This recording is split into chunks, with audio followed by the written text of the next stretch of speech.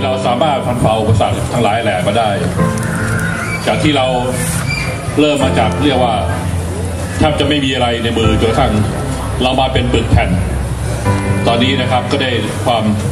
ร่วมแรงร่วมใจของพวกเราทุกคนนะครับ ตั้งแต่มีพนักงานไปถึง 10 คนจนทั้งวันนี้เนี่ยร่วมร้อยแล้วนะครับ แล้วเราจะโตต่อไปอีกครับ